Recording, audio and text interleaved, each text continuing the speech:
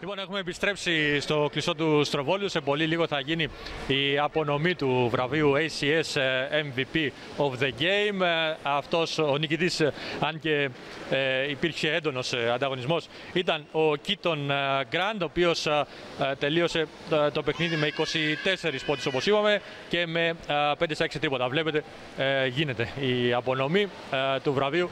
Θα το παραλάβει τώρα και για να μην ισχύει φωτογραφία.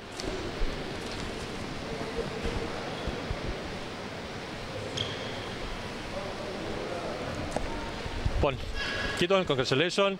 Uh, and uh, Happy New Year. happy New. Year, Happy New Year. Uh, you had a great game eh, today, 24 points with five threes. Yeah, it was, uh, it was, a good team win, most importantly. Uh, we played well as a team. We prepared uh, the last 10, 10 games.